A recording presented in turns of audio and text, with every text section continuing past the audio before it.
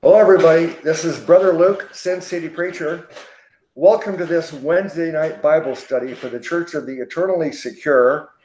Praise Jesus. Hallelujah. Look at this shirt here. You see that? Jesus is Lord. Can, can you see what it says on the back? Am I high enough or low enough? Yep. it? Trust Trust. Jesus. That's awesome. Okay. Amen. Let's start off with that. Trust Jesus. Praise Jesus. Okay. Redeemer. I mean, after all, that's if we were to synthesize it down, uh, the the fewest words possible. Uh, my conclusion is the two, two best words is just trust Jesus. If I if I only had two words, Mhm.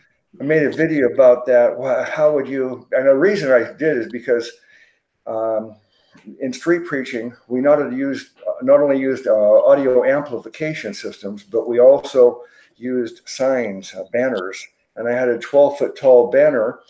And I did the banner was not for the, necessarily for the people who are you know right walking right past me. They're for the people who are driving by, maybe 20, 30 yards away. You can't put a lot of words on there. The, the print would be so small they can't read it from a distance. So I had to figure out how can I make bold print that people could see from a distance, and that means I have to reduce it down to the fewest words possible. And when I first did my banner, I put my word two words were Jesus saves. Uh, eventually, though, I switched over to trust Jesus. I like that. Yeah. Okay. Well, we'll uh, we'll get started with the Bible study uh, in a moment. But first, let me uh, ask uh, the the brothers here with me tonight. I'm expecting Sister Renee anytime, but uh, let's do some introductions here. Uh, uh, we got Ultimate Mordecai, uh, Brother Michael. Uh, take a moment and tell the people who you are in case someone hasn't met you yet. Okay, if nobody's met me yet, um, I'll try to keep it short. My name's Michael LeRae. I was a 30 years indoctrinated Jehovah's Witness, set free by his grace, by the grace of our Lord Jesus Christ. And so now I believe that there's not only Jehovah's Witnesses, but many others that call themselves believers that are veiled to his grace. And I'm trying to help the Lord with this lifting of the veil, sharing what the Lord shared with me about his wonderful, amazing gospel of grace.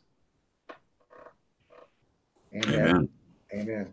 Yeah. Uh, what you're, by the way, uh, there was a text from Renee in the chat room. She says, on my way. So she'll be joining us uh, very, very, very soon. All right. But you know, maybe people will either get tired of me saying it or not understand why I keep saying it. But, you know, I, I consider you and Renee like, um, um, oh, I don't, I don't know how to say it. You're- 2 you're- sides of the same coin.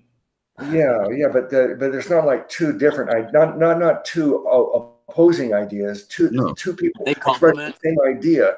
You're really your your theme, your mission, your ministry is so much alike. What what you both are focusing on, and that is clarifying the simplicity of the gospel. And as we Renee says, she said she likes to untwist the twisted verses. So Sunday, I invented a new nickname for Sister Renee.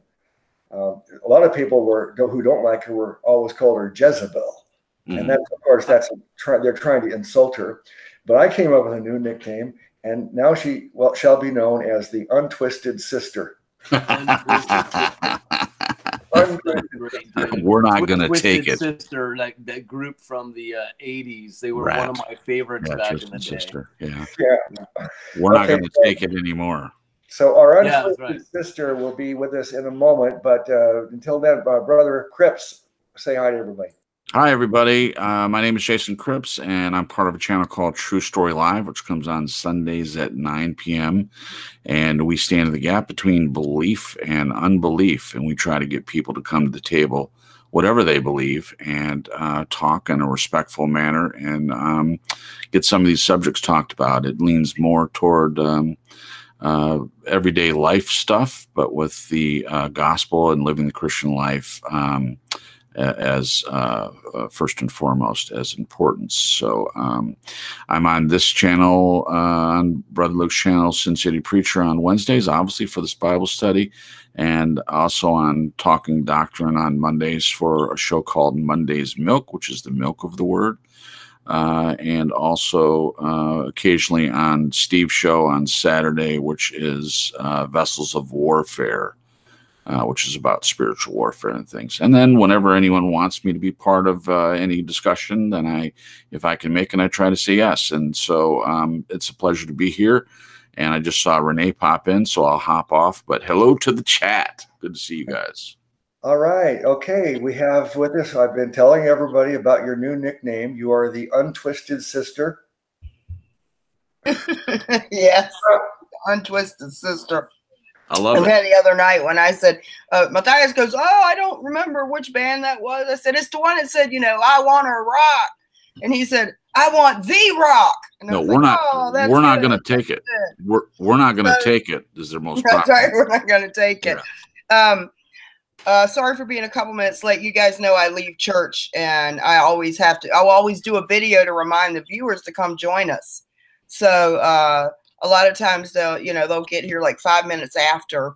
So I wanted to make sure I did that before I, I joined you guys. Happy to see you here again with us. I told them that I, I'm hoping that you'll be the newest member of the panel Yeah. here on Wednesdays. Yeah. And we have a nice rounded thing where we all have our different gifts and Yeah. different ways of looking at things. So it's good to Love see you, brother. Thank you. Good to see Hi, you. chat. Hey, Saints. Okay. All right. Uh, you didn't uh, take a moment to introduce yourself, Renee, but uh, why don't you just take a quick moment to? There might be somebody who doesn't know who you are yet. Oh, okay. I, th- I thought you were talking about me. He was Uh, talking about it. Renee Roland, R O L E N D channel of the same name. Uh, we contend for the faith once delivered unto the saints, free graced, unashamed, no works uh, added. Um, Just add the blood. Sure. And uh, I like to untwist the twisted scriptures that work salvation is used to either tell you that salvation is somehow based on something you're doing, whether it's to get it, maintain it, or prove you have it, yeah. uh, which none of which are biblical. Nope. So I think I'm in the same boat with these gentlemen, and we are often attacked for it, and I'm in good company here. There Amen. you. Thanks, you guys. Okay, then. Very good. Uh, all right. Um, let me start off by saying that um, these Wednesday night Bible studies now, we've been doing them for, I'm, I don't remember how long exactly, maybe five or six months. The first uh, few studies we did were uh, focusing on the most famous sermons. And uh, so I hope you go back and watch those. We, uh, we critiqued the sermon by uh, uh, Spurgeon, Warrant of Faith, and we gave it an A plus, one of the best sermons ever given. Uh, and then we critiqued uh, Jonathan Edwards' sermon, uh, "Sinners in the Hand, Hands of an Angry God," and we gave that an F minus. I hope you watch that and see why we are so hard on that sermon. And we also gave an F minus minus to the um, the sermon by Paul Washer. Uh, he proudly calls it the sermon that made everybody angry at him. And he even says in the beginning, he, he intends to make everybody angry. Uh, and much of his sermon is based upon uh, misapplying uh, uh, First John. Uh, so go watch those. But after that, we got started working our way, as is our goal now, to work our way through the Pauline epistles. And Romans is the first one. And I, hope you'll watch the first couple of episodes on the Roman study because it- it's so important to lay a foundation for uh, this study. And then, uh, more important than any chapter in the book, in my opinion, is Romans 9, only because it's been stolen, hijacked by Calvinists to, to prop up their damnable heresy. And uh, so y- y- I really hope you'll watch the study on Romans 9 so that you cannot be deceived by the, the Calvinist false interpretation of this that chapter. Now we're on our on beginning chapter 12. And uh, I did post here in the private chat space, Brother Cripps, uh, the first 15 verses in the KJV and also in the Amplified. And uh, Renee, uh, I posted before you joined us, so if you need me to post anything, post anything again, let me know. Uh, I pulled. I just pulled it up. Okay, then. All right, let's begin. Romans chapter 12, verse 1. I beseech you, therefore, brethren, by the mercies of God that ye present your bodies a living sacrifice, holy, acceptable unto God, which is your reasonable service. Oh, gosh. Well, there it is. There it is. yeah, yeah. There's there's the verse that we we we want to always bring to everybody's attention, really for our defense and Paul for Paul's defense of all the false accusations that Paul and we are preaching a license to sin, and he's clarifying that no, it, this this freedom we have is not a license to sin, but it's it, but he does ask us now that you do have this security in Christ that uh, hey, you, there is a reasonable expo- expectation from God that now you will help help in His cause and it's an honor and privilege that we get an opportunity to do it. I'm sorry, I don't usually go first, but uh, let me, brother uh, uh, Michael, why don't I ask you to go first this time? Okay, cool. Yeah, yeah, I agree. I mean, th- these are things. You, you, the whole chapter is of 12 is is showing us, you know, how to present ourselves. And you are a living, walking sacrifice. He says I my Bible says that he urges us by the mercies of God, and that urging it's it, it's a word that also means exhort, or I encourage you. It's parakaleo, parakaleo. It's an exhortation. It's an encouragement. It's it's not a commandment. Do you understand? But it's it's a different way of thinking. I encourage you. You know, this is out of love. By the mercies, present your body living and holy. Why? because you are alive and you've been made holy. So present yourself as you are, right? And it is a sacrifice. What did Paul say? That sometimes you got to even pummel your flesh, right? You're, you're a living, walking sacrifice. Acceptable, acceptable to God. This word acceptable means well pleasing. It's you, arestos, you're arestos. It means be well pleasing to God. Anything that's done out of love that comes from within, of course, it's well pleasing. And yes. and this service of ours, if you're if if if if you are serving God, you know you do it from within, not because it's a commandment, but because it comes from within, from your heart. Amen. Amen. Mm-hmm. Okay, let's uh, Renee. I usually have ladies go first, but I thought I'd change it up. No problem. Um, yeah, I, I, often use this verse. I know uh, Jason does uh, to let people know that th- this is our heart. Uh, our the security we have in Christ. I, I I tried to say, you know, if if salvation could be lost, then there'd be no point in getting saved, and all of us could just hope, hope, hope that we get a chance right before we die, so that all our sins are covered and we don't do anything to mess up and lose it because it's clear you can't get it back as per Hebrews. Once lost, always lost. You know, they they just they can't get it. So um this is why we do it. Paul reminds us often who God says we are in Christ. So this is him reminding them the mercies of God. What God has done for you, it is the least you can do to live holy and acceptable. And we're also told, which we've already covered, uh, you know, it proves what what God's will is for His children, and it's for a testimony to others. Amen. It, the, our whole point as a church for remaining here instead of being taken up to heaven is to serve our dad and to preach the gospel to others. And if you're not a living sacrifice and you look like the rest of the world, what do they see that they would want? No. What what could they uh what do you have that they would want to attain to? Right. You're not trustworthy. You're not a trustworthy um apostle or uh preacher or uh, even disciple because of how you're living, it really can speak very, very loudly. Yeah.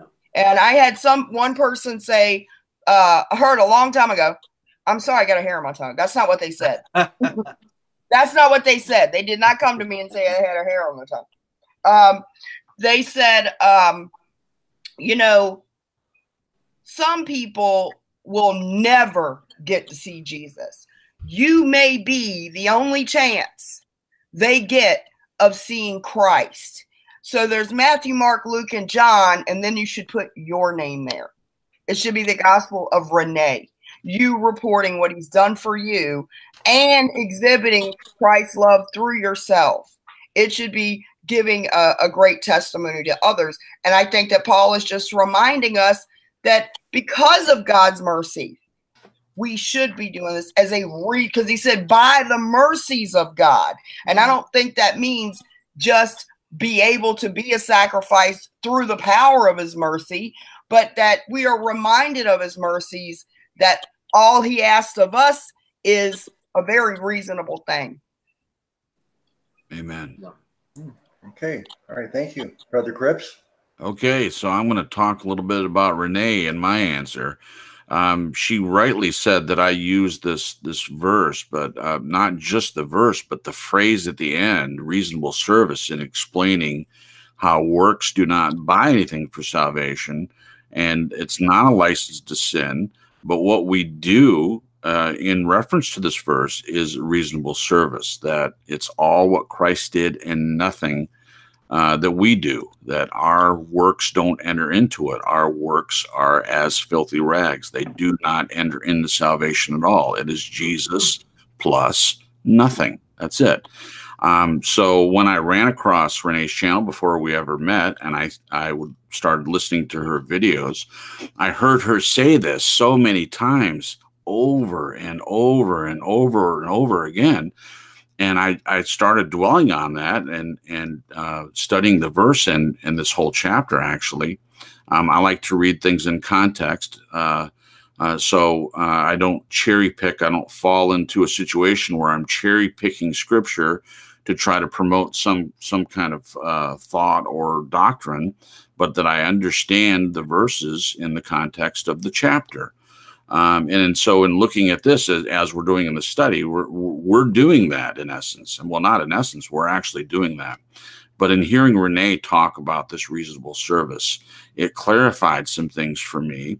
Um, I, I, wasn't basing my life on works. I did understand that was all uh, all what Jesus did, but in understanding this reasonable service part and making that uh, part of what I say and anything that I'm involved with, um, it's changed everything. And if people would understand that, that it's not a license, uh, the, the grace that we preach isn't a license to sin, absolutely not. He, uh, he says, I beseech you, therefore, brethren, by the mercies, this is the point, by the mercies of God, this is because of what he did for us. It's not, it, it, it's not as if it does anything for us. It's not. Not only is it not for us, it's for other people. And because of the mercy that he gave us, the incredible gift that he gave us it should be a wellspring inside us that we bubbling over that we want to do this because it's a reasonable service because of what he did for us. It's not for uh, anything. It doesn't bias anything. It's simply the way our attitude should be this way when we realize the greatness of what he's done for us. Thanks. Awesome. Amen. Woo hoo yeah Amen. Uh, yeah, that's, you know, it, says our reasonable service, but I, we could say, isn't it our reasonable expectation? I mean, or don't you think it's the least you could do? Now, we all are very, very careful to make sure that no one gets the impression that you have to do some kind of religious works after you get saved in order to uh, keep your salvation or prove your salvation. No, we, we, we will argue against that always, but uh, we always want you to know that it, come on, if you do understand the greatness of the gift, isn't it the least you could do is want to not only want to do everything you can to please God and serve God, but it's such a privilege that we're offered. Mm. Uh, I mean, we take for granted. Watch my, my series, 50 Hours in Heaven. I'm, I'm so, the happiest time of my recent life was doing the series about heaven because that it, it makes me so happy to think about eternity and what's waiting for me. And oh, it, it's such a joyful thing to think about. And, and we, we take all this stuff for granted and uh, we get get caught up in, in all the, the, the problems of each day and forget to recognize the greatness of this gift of eternal life. Yes. I mean, our, after all, we were on our way to a second death, destruction of both body and soul, perishing forever. And then instead, we are going to live forever with ecstatic, blissful joy in a new heaven, a new earth. The thought of it is so exciting. And knowing that God has given that to us because of what Jesus did and our faith in Him and His promises. And don't you think the least you could do that, that wouldn't your reaction be when someone give you such a wonderful thing that wow what in the world how can in the world can i pay them back? Not out of duty not out of out of your you're responsible to, to, to do it in order to keep your salvation but out of just well maybe gratitude. Aren't you grateful for this? And when you know that you you have the ability to give this gift to other people uh, you should say wow what a privilege i have to be able to tell people about jesus and the free gift. Yes. So um, yeah it's the least we could do. It is there are reasonable expectation that we would be so excited about jesus and our salvation that we would want to help this cause, the cause of Christ, uh, in, in any way we can. And it's not a labor; it's a it's a joyful thing to serve the Lord. No, it, it starts off in, in verse one by the by the mercies of God. It's His mercy that does it. Mercy is the Greek word oik termos, which means favor or grace, even compassion. When you feed on his grace, his compassion, his favor that you didn't earn it, this is something that's just going to come from within you. It's going to come out of you through your spirit. Amen. Yeah. Yeah. Uh, I saved Brother Hendricks's uh, comment and question. And he, he wrote, what is, mo- what is motivating us to present our bodies as living sacrifices? What is your motivation? That's what I was trying to, trying to, uh, talk about. Uh, the it should be a natural response. Like, I love Jesus because he first loved me. When I recognized his great love for me, that he would die for me, I couldn't help but love him in return. I have this great gift of eternal life and salvation freely given by Jesus. I can't help but want to serve him and, and help his cause. Yeah. Yeah. That's the motivation. Amen. You know, I got a I got a friend that when you were talking, a buddy of mine texted me. His name's Tony. So hello, Tony. He says he's watching live. And the interesting thing about this word service, service, it's a Greek word, latria, latria. It means worshiping in hymn or song, H I Y M N, right?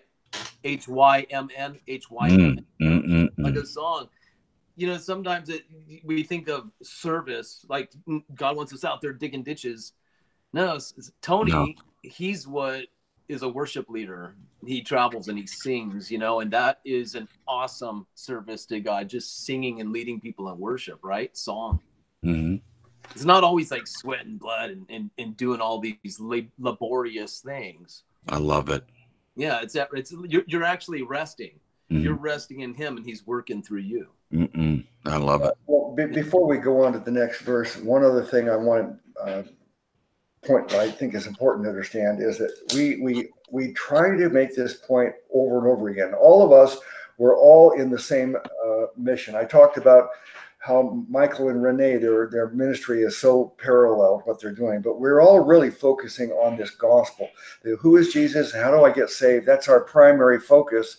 Even though we like talking about every subject in the Bible, but the problem that we have, and, and the reason we have to spend half of our time or more untwisting these twisted verses mm-hmm. is because people are not able to make a distinction between salvation and service.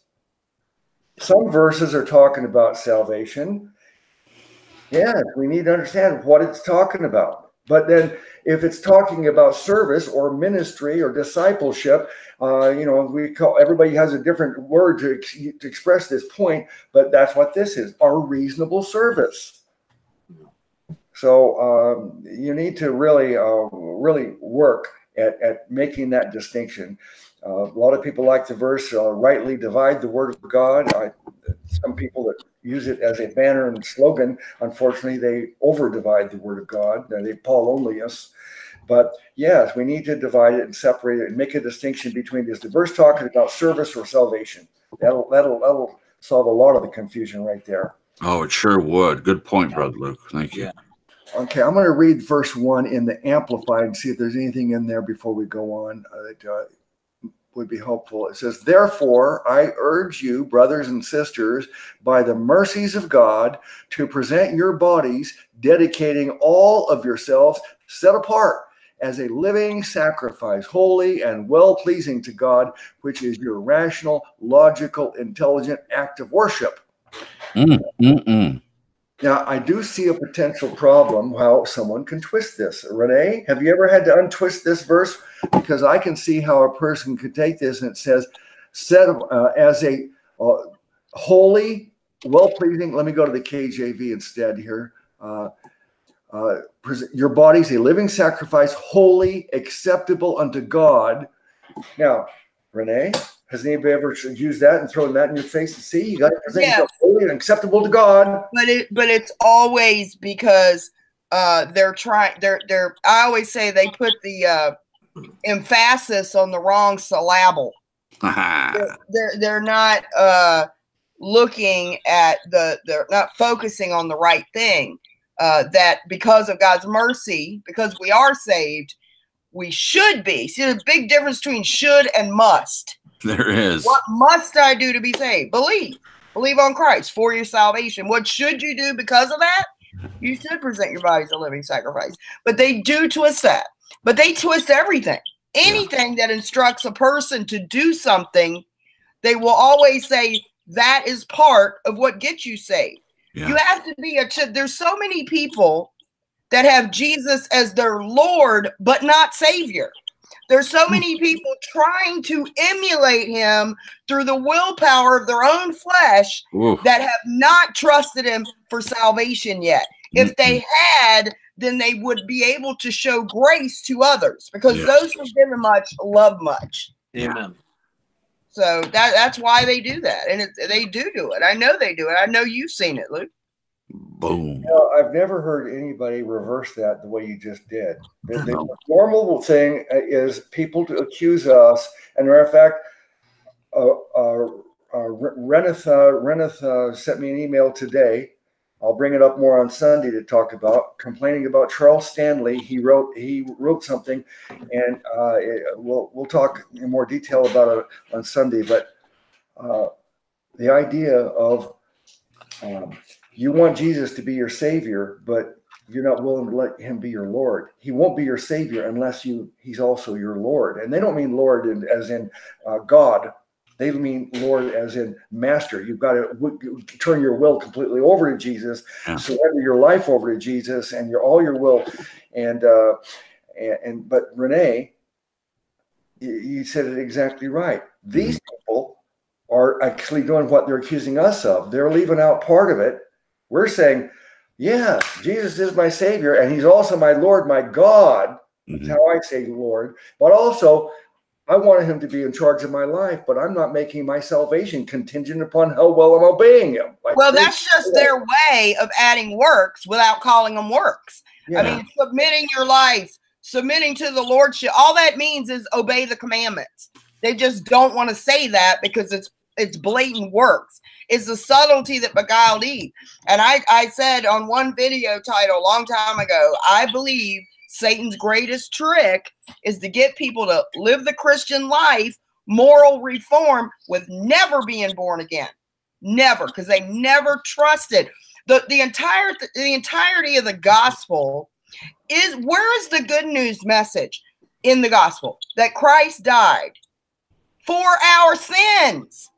That's the message of the gospel. And they was buried and rose again. Now his resurrection confirms that his blood was acceptable to God on our behalf. Mhm. So if my sin debt is wiped out, the wages of sin is death. That's what I owed. And then he paid that wage for me.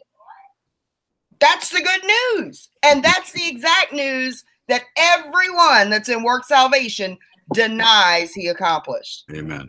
Yeah, the, the lordship heretics want to um, only focus on the lordship of Jesus because, in the way that they uh, explain lordship, is you follow and serve, and uh, that way they can boast on their performance and try to claim some of the glory for themselves. Right. Okay?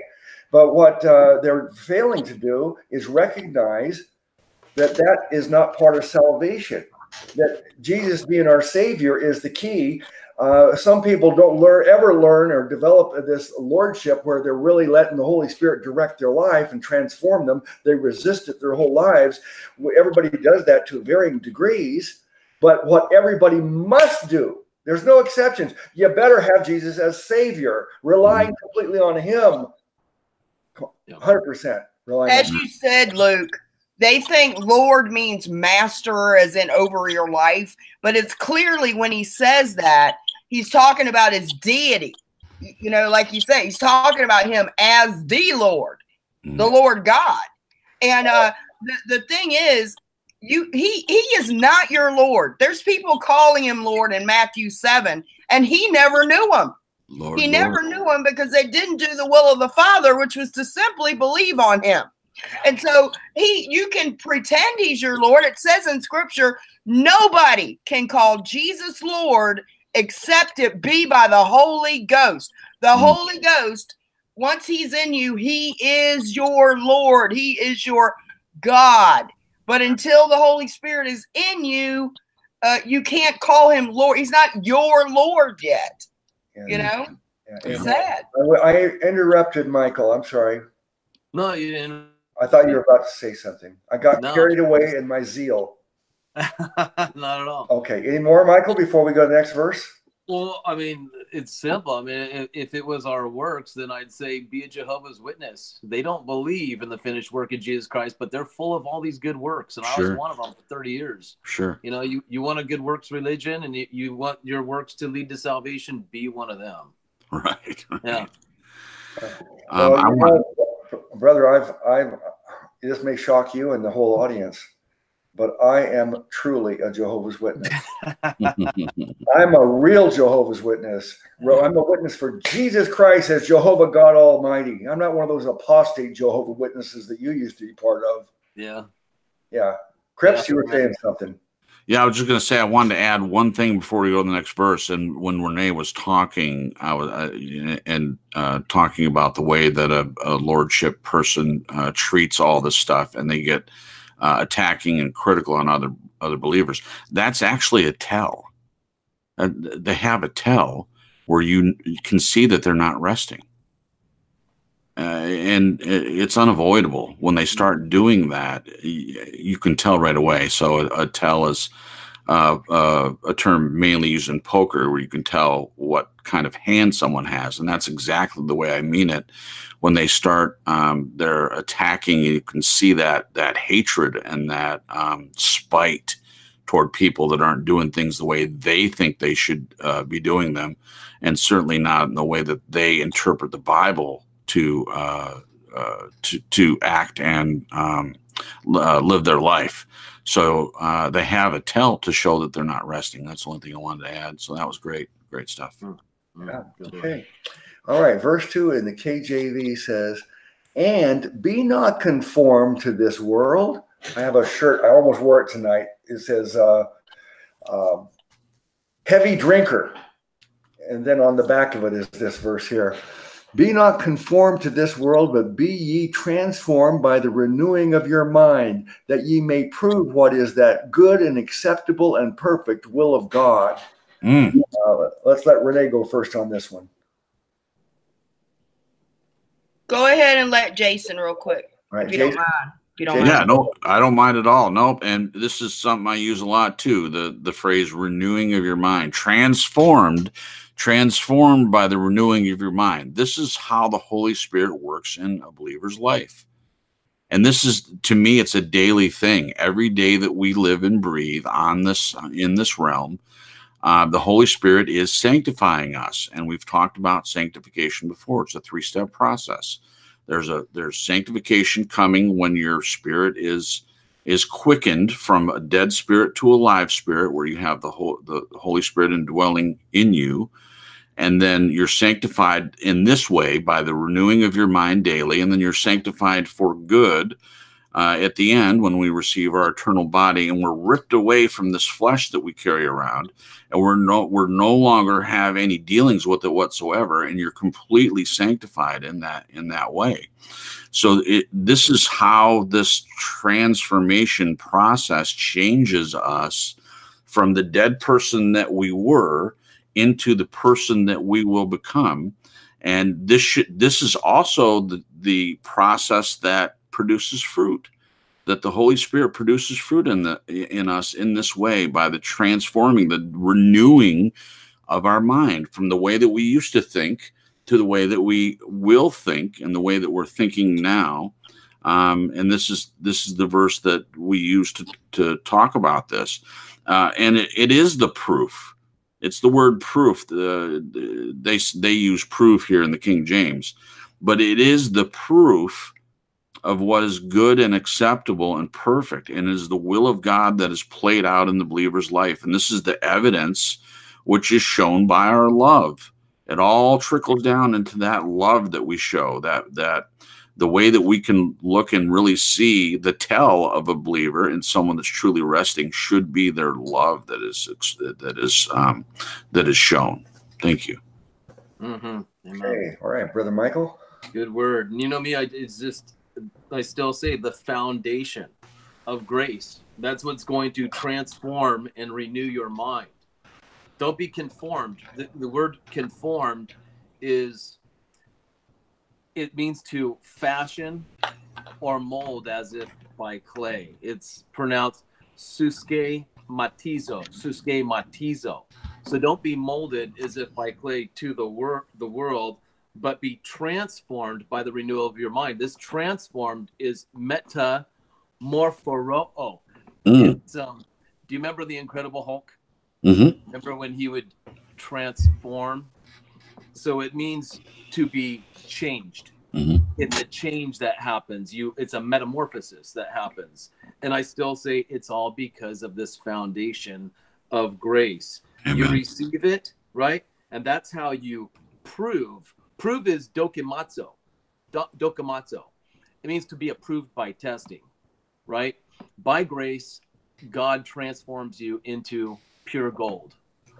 Now, gold goes through a process, right? Mhm. It's called refinement. Yeah.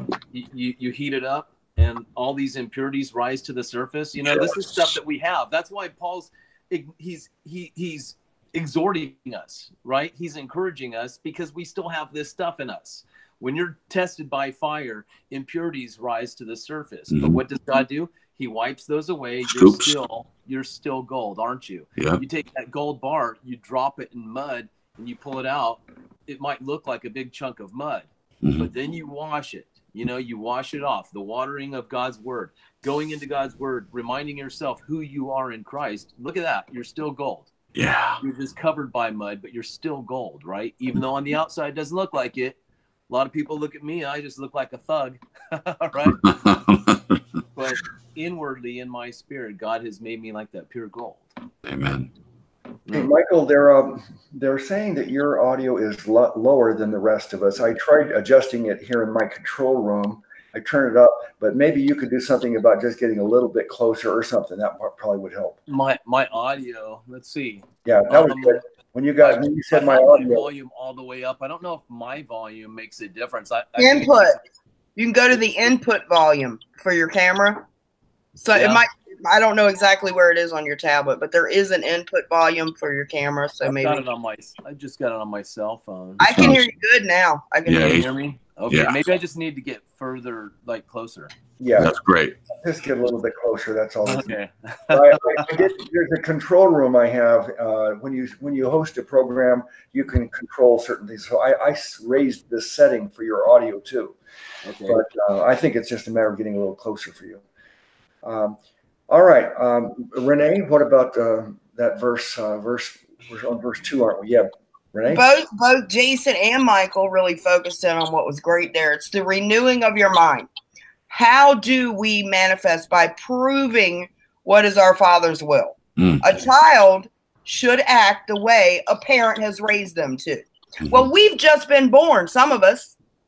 You, when you're born, you have to have milk to grow. Mm. And then you see progress as you grow up. So renewing of our minds is, is required because we have to remind ourselves who God says He has made us.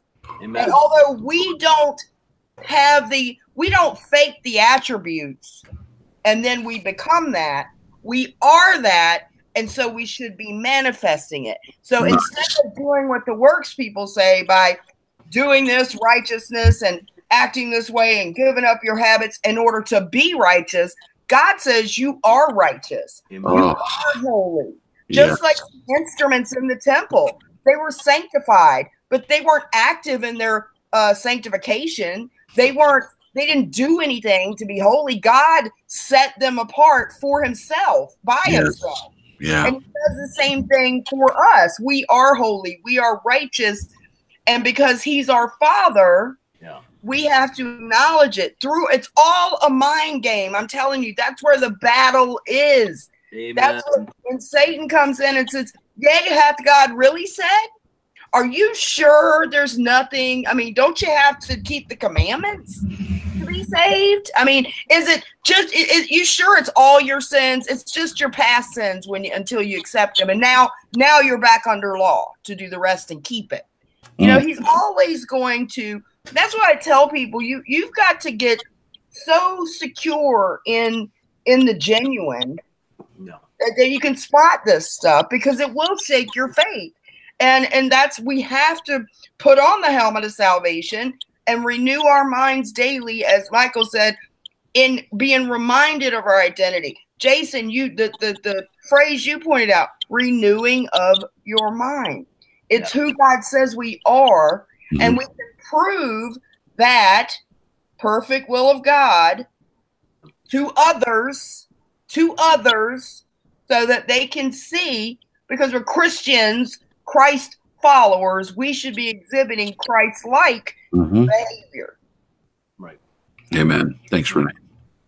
I um, I'm surprised after listening to all three of you on this verse that there's anything left to be said, but I am going to. I'm going to, emphasize something a little bit different here, and let me let me. Uh, I'm going to show it to you in both verse one and two. Uh, I'm reading it in the Amplified. Though it says, "Therefore I urge you, brothers and sisters." That's from verse one. In verse two says, and do not be conformed to this world any longer with its superficial values and customs, but be transformed. Uh, I'll, I'll read the rest of it. It's, the rest of it is really great that how they've written it. But the point I want to say is, look, it, these verses are not telling us that uh, now that you have the Holy Spirit in you, you will automatically do these things we're, we're being urged to do it because it doesn't just happen. Uh, people, some people think that, uh, well, there hasn't been any change or enough change in that person, so they're not really saved. Well, it doesn't always happen like that. You know, when I've said this before, but I'm, I'll keep repeating because I think this makes the point perfectly. If you were born today, 10 people were born today from their mother's womb and you examine their lives over 70 years, you're going to see some people excel right at a young age. Yeah. Some people succeed later in life. Some Yeah. people just fail and fail and fail. They can't ever get it right, but they're all equally human beings. Yeah. And if 10, if 10 people are all born again today spiritually, and for the next 70 years we look at their lives, you're going to see the same kind of a thing. There's not some perfect, perfect, uh, uh, identical, uniform growth in everybody. We're unique. Right. So, see, this is something that's up to us to cooperate and allow the Holy Spirit and cooperate because the Bible says that we can grieve the Spirit. We can resist the Spirit, grieve the Spirit, and eventually even quench the Spirit. Enough, if you grieve it enough and resist it and refuse to listen to the Holy Spirit as the God's trying to transform you, change your desires about life. Uh, if you're resisting it, eventually it's kind of like have you ever had a person that was maybe in marriage people can relate to this sometimes. People says something over and over again. After a while you just kind of tune them out. You don't hear them anymore. You, have tuned Right. them out. And so you've tuned out the holy spirit. You can't even recognize the spirit's trying to transform you because you've resisted so long. So this is telling us that don't expect that it happens in everybody automatically. And if it doesn't happen this spiritual growth that they, they're not saved no, just realize that everybody has a choice of how much, how well they're going to cooperate with the Holy Spirit, how much they'll embrace the promptings of the Spirit, and and and uh, want to grow.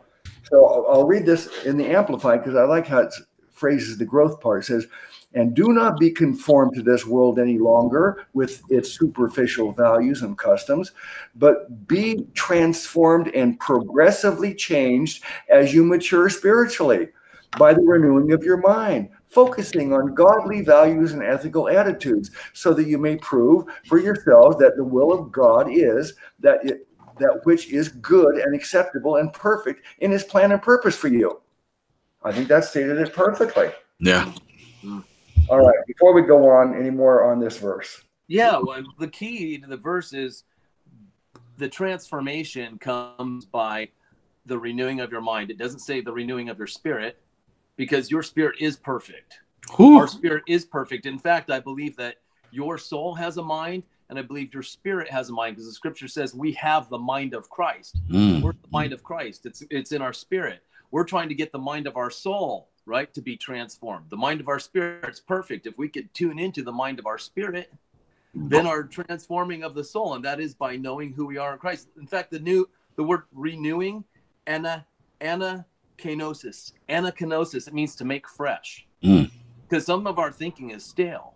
Yeah. How do you make it fresh? You keep on feeding on this gospel of grace. You keep on knowing who you are in Christ. So many people they think that that there's a race, and you in a literal race, our our our start is the starting line. But now by receiving what Christ has done for us, the finished work of Christ, our starting line is the finished line. Do you mm. understand? Yeah. We start at the it is finish line.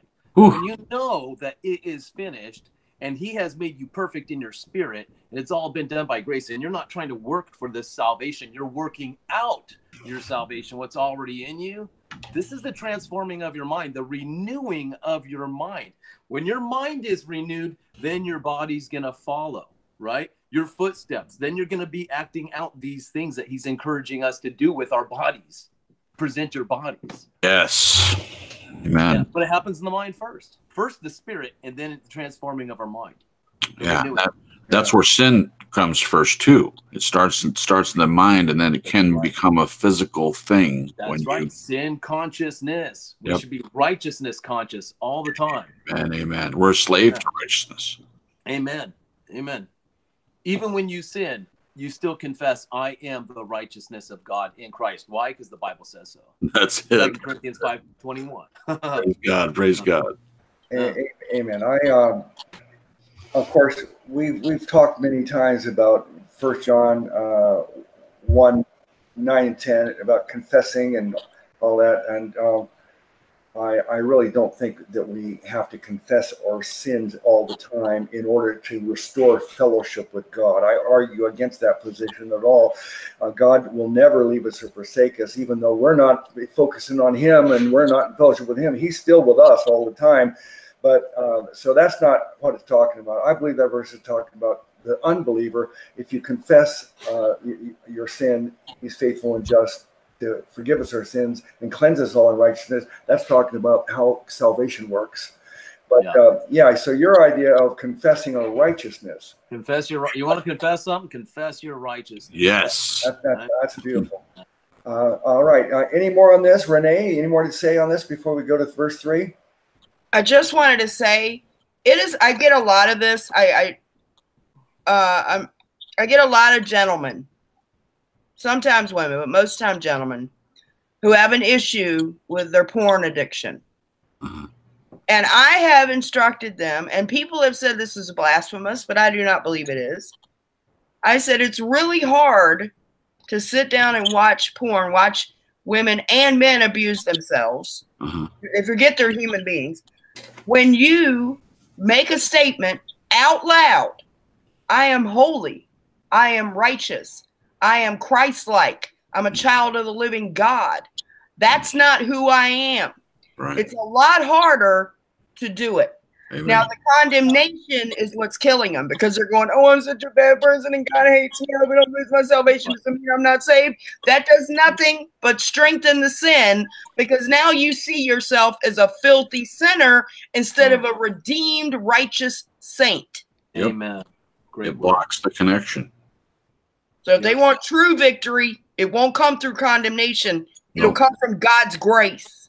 Amen. Amen. Remember, renewing the mind means to make fresh. Yeah. You don't want to make make old and, No. and, and speak death over yourself. Oh, I'm Right. a sinner. I'm so scum. I'm terrible. No, you keep on confessing who you are in Christ. Awesome, Renee. Love it. Thanks. Even in the middle of it. Even in the middle of it. Yeah. During that sin. I think the a related uh, verse would be when Paul uh, tells us to uh, whatever is good, whatever is pure, whatever is lovely, whatever is of good report, think on these things. This is how we are renewing our mind by keeping our mind on what's righteous and good instead of allowing our mind. I mean, I, you know, they say um, that it's impossible for your mind to have two thoughts at the same time. So all you got to do to get rid of the pornography or any any other bad thoughts that you're having is replace it with, you know, uh, just start talking to Jesus and and and think about what's good and pure and lovely.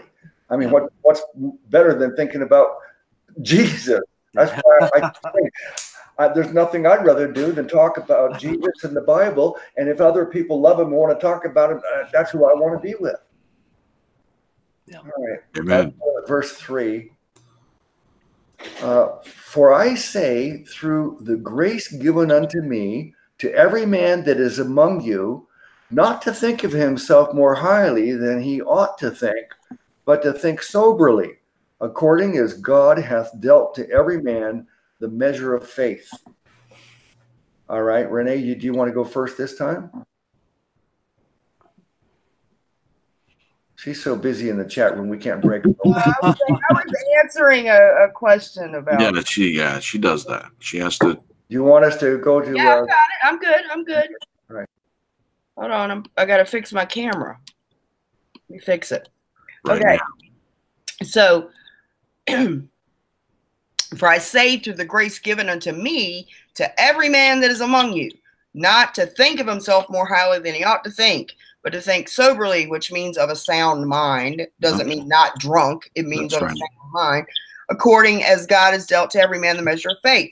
Um, for one, uh, your faith is not some attribute you have that you can boast in.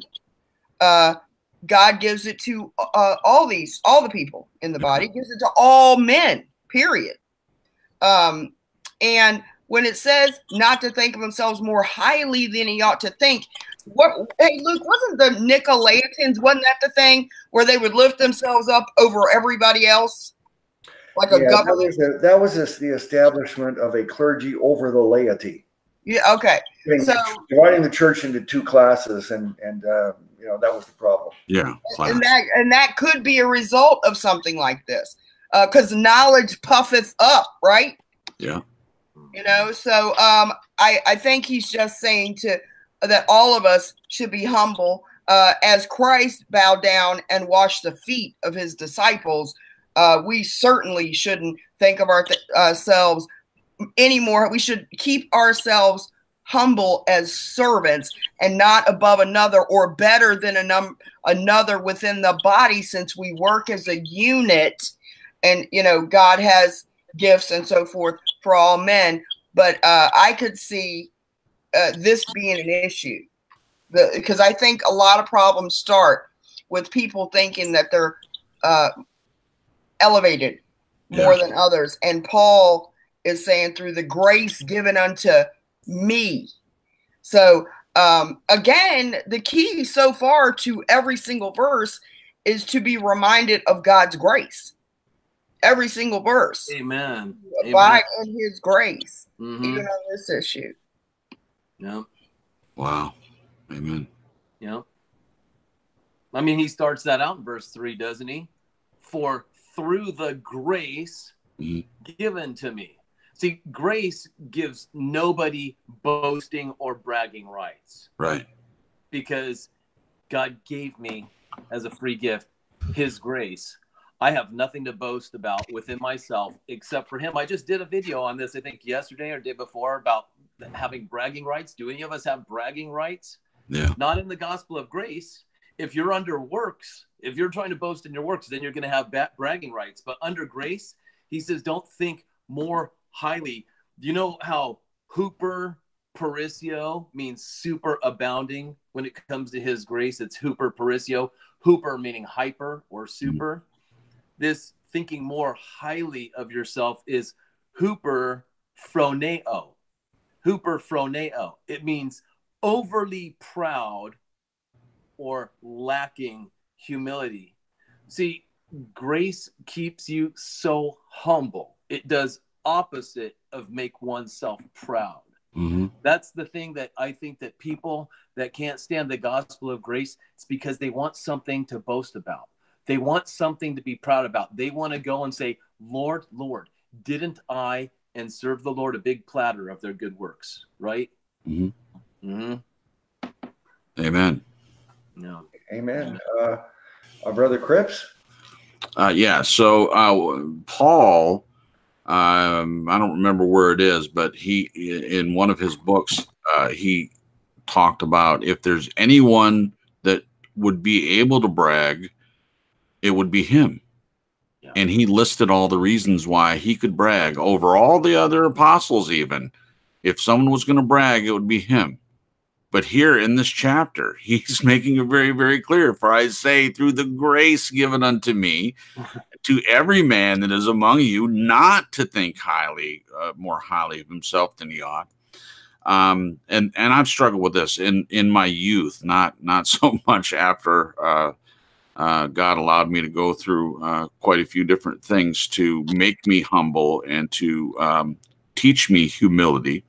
Um, pride is a killer it is an absolute killer.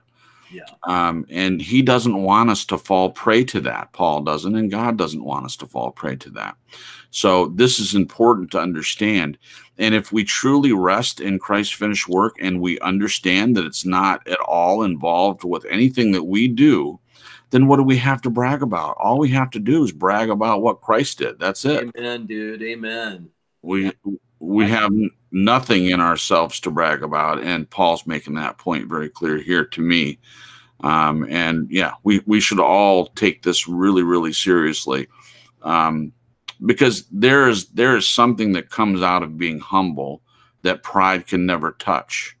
It's the it's the compassion and love that we have toward other people, especially when we're bragging in the righteousness of Jesus and not bragging in anything that Amen, bro. Amen. It makes you have more compassion for other Amen. people because Amen. you know how much compassion he has over you. You yep. can't give to others what you don't already have. If you haven't received the compassion, not because God doesn't have compassion for you, but if you have rejected it, not received it, mm-hmm right? Then you cannot give it to others because you don't have it within. Amen.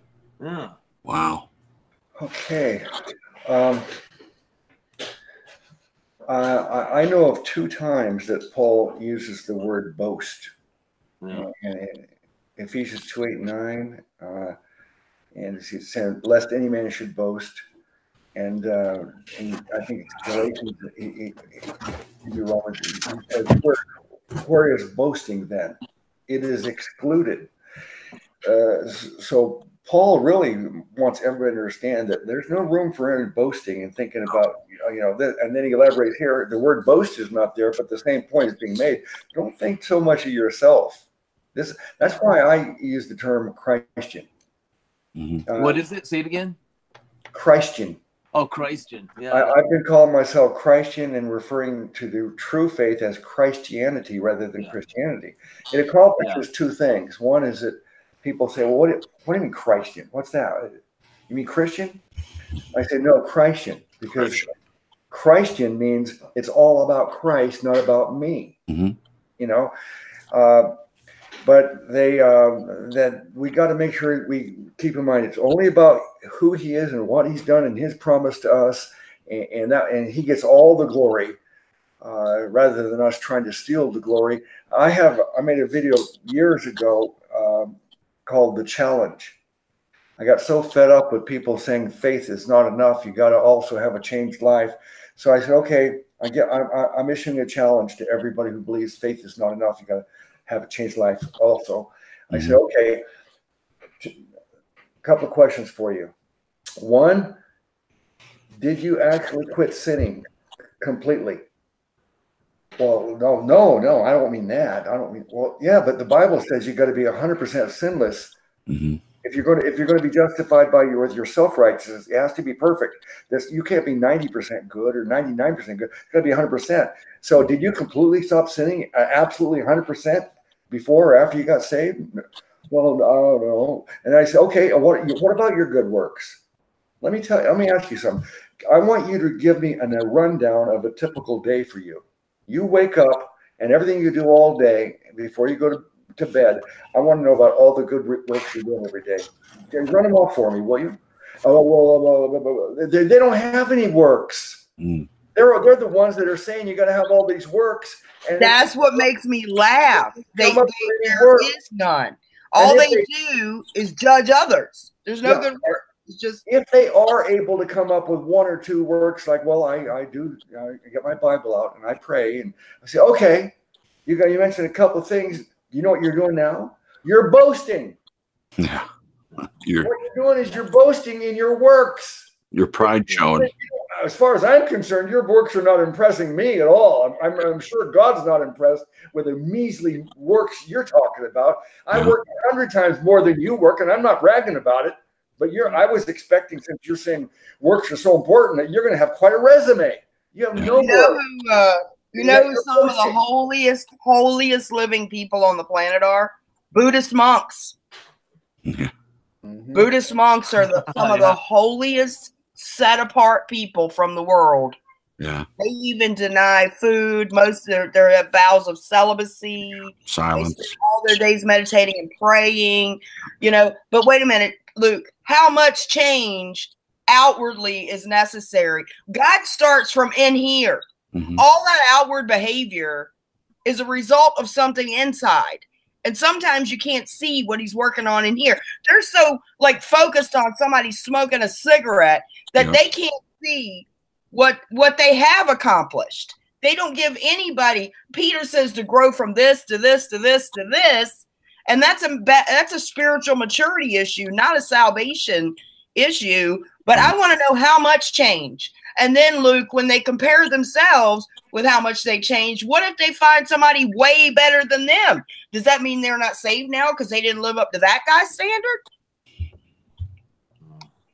Well, let me read in the Amplified before we go to the next verse. Uh, it says, For by the grace of God given to me, I say to every one of you not to think more highly of himself and of his importance and ability than he ought to think, but to think so as to have sound judgment, as God has apportioned to each a degree of faith and a purpose designed for service.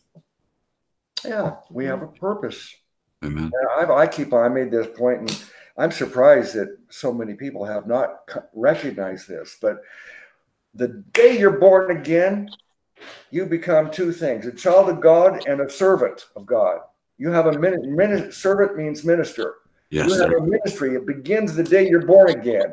And, and now, from that time, point to your last breath, uh, God's keeping score. You're building up treasures in heaven, or you're going to have uh, be disappointed at the judgment seat of Christ of how much time was wasted. Mhm. So uh, you have a ministry. That's your service, and as we've said, it's a privilege and an honor and a joy to be able to serve God. Uh, but that's the that's the whole purpose of this. Mhm. You know, once we get i- i- this Mhm. eternal life, what are you going to do We living forever? I mean, what, what Right. Come on, what's the point of living forever?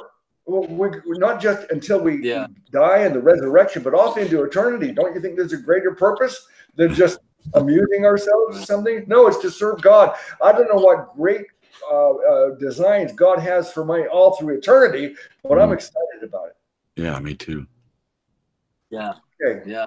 Amen. uh, verse four, unless more is to be said on that. Verse three, let me know. I do have one comment. Well, yeah. Oh, go ahead. More thing.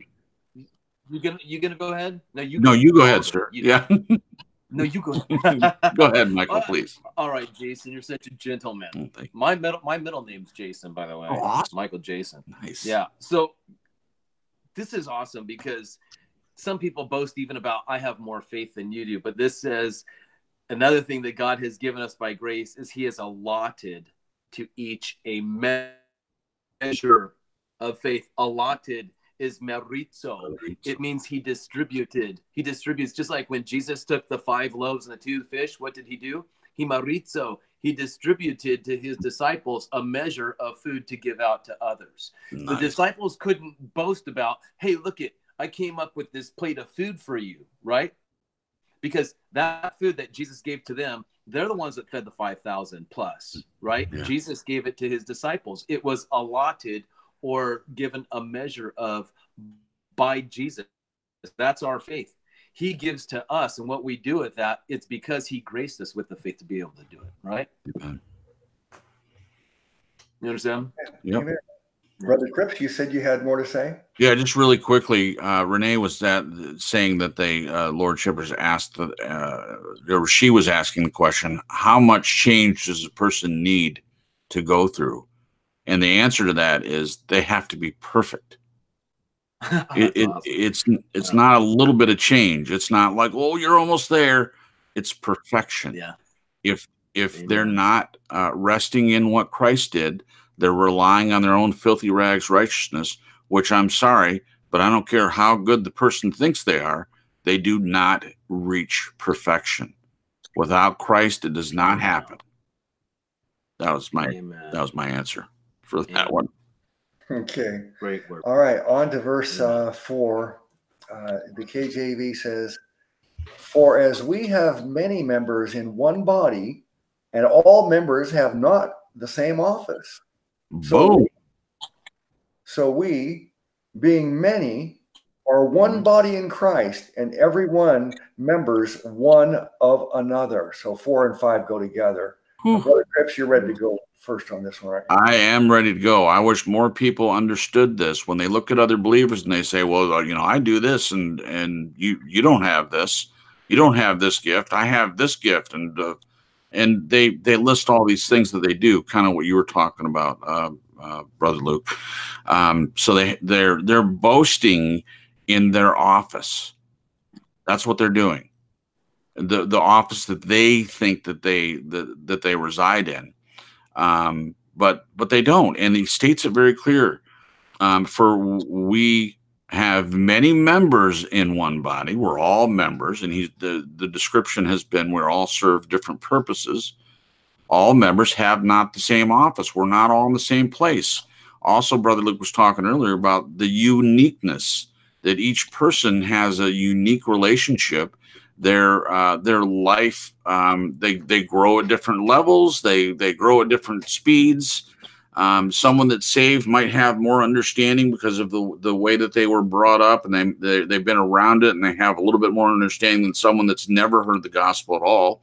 So when they get saved they they they step right into something that they already have some knowledge working in them. They already have some se- some seeds coming up and so uh, the Holy Spirit harvests those things. Sometimes for some people, it might appear to be overnight, but it's not. It's actually that the seeds have been planted a long time ago.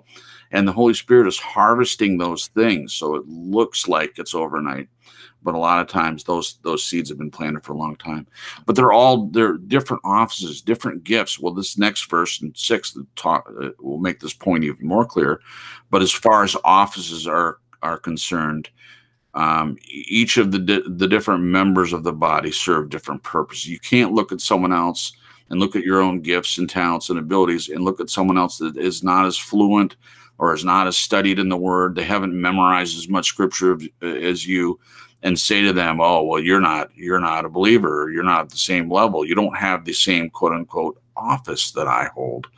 And if you're doing that anyway, then I would check to make sure that you're even of the body to begin with, because your pride is showing. That's the tell. Their pride is showing, and when you start criticizing other people uh, for uh, things that the you know the the speck they have in their eye, beware of the own plank that is in your own eye. So, Amen. You keep on you keep on mentioning the word tell as in poker, a poker tell. Mhm. Uh, I suspect uh, we should not try to play poker with you, brother Cripps. no. Okay, brother Michael, what do you say about verse four and five?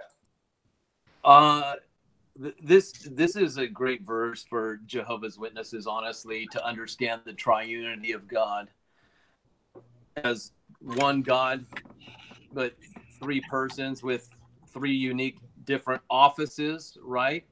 Like Jesus saying that the Father is greater than I. He, he- he's not saying by nature. He's talking about an office. You know, the Father being greater, and when you see the, the one body yet the different members you know that that reminds me of the one true god you know it, but you've got the different members like um like it, I, I made a video a while back. It actually is my video that probably has more views than all other ones. It, it's it, it's uh, called if jesus was god then who was he praying to?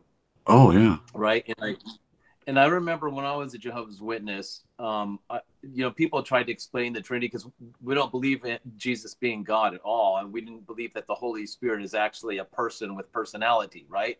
That's what person means someone with personality. So god is a person right um we believe that the holy spirit was just like a force that god used but anyhow i remember i was um i i i, I told you guys before that i I used to do this guy uh, David Jeremiah's hair, right? And um, he was a customer of mine. I didn't even know who he was. I was Jehovah's Witness. I thought he was actually a literal doctor. People say Doctor Jeremiah, and I thought he was a doctor. So he invites me to come to his church. You know, after I had left Jehovah's Witnesses, I received Christ, but I still wasn't under. Somebody asked me, you know, do you have to believe that Jesus is God to be saved? I didn't understand how Jesus was God yet. I just trusted in Jesus for my salvation.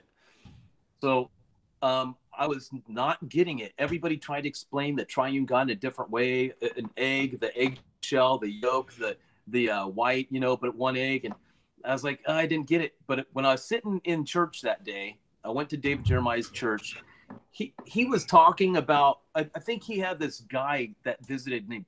I think it was Tim LaHaye that wrote a Left Behind series or something, you know, about the rapture and all that. Yeah, it was. And I think they were talking about that stuff, but I suddenly went to a different place in my mind. God, what I, I stopped paying attention to them, and God spoke to me. Let me share with you the triune nature of God, and it was so powerful to me. He said that God, God means government, right? Your belly is your God, meaning your your belly governs your life. If money's your God, it's because it governs your life. Your problem can be your God if your problem governs your life. You you put it above God, right? So God you can make that word God meaning government. It's one who governs over you. Okay. In a government, you can have a president, you can have vice president, you can have a secretary. All three by nature are equals. They're all equal, but each one has a different position. The president has the greatest position. The vice president listens to the president, does what the president says. The secretary does both what the president and the vice president. Do you see Father, Son, Holy Mhm. Spirit there? Do you see how their functions aren't, oh, I'm better than you. I, I, I'm higher up than they work in perfect Mhm. harmony. And that's how us as the body, you know, if we could only be like that more, that perfect unity, we're all equals. We're all part of the one body, just like Father, Son, Holy Spirit, the one God, the one government, Yeah. right? three persons in that by nature equal. And that's how we are. We function and we have different types of gifts. We have different types of offices, mm-hmm. yet one body still. I, I, think it's just an amazing revelation. Yeah. In this scripture, you wouldn't see the triune God there because it does say Jesus God, but you can see the triune God in these verses, can you not? Yeah. Okay, hey, Michael. Yeah. yeah. I also wanted to say something that was revealed to me a few years ago when I was reading scripture. It's why I defend for the triune Godhead uh, in three persons, yet united, one in unity, same eternal beings, same all one together. Um, because that is a way that God can give and receive love within Himself. Uh-huh. It's another.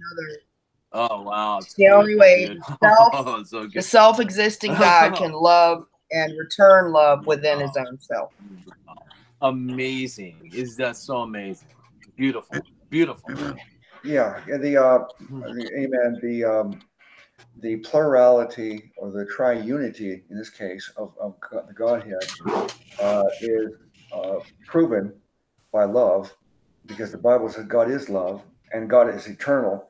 So eternally there had to be love, and love cannot exist without an object. So there had to be at least two parties for this love to exist. Mm. There's three. I love that. I love it. Uh, I uh, the um, verses four and five. Uh, a lot of interesting points have been made there. Um, I want to. This is talking about the different uh, offices. Now it's true.